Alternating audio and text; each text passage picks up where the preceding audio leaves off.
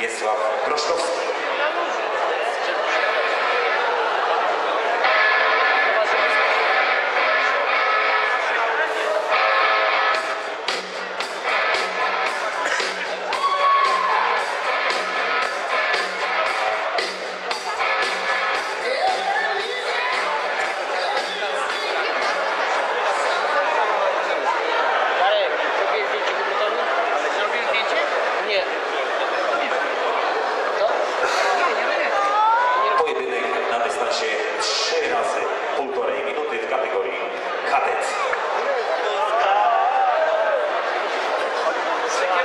Alexia.